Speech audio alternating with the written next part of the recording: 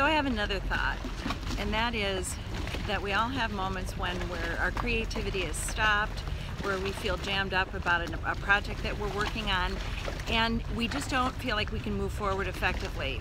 So my solution, I propose, is to take some time and go play.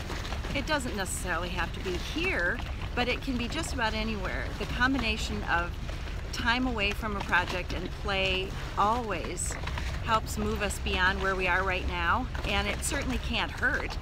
So instead of continuing the grind, just move beyond where you are, even if it's into another room, and enjoy a little bit of downtime. Give yourself permission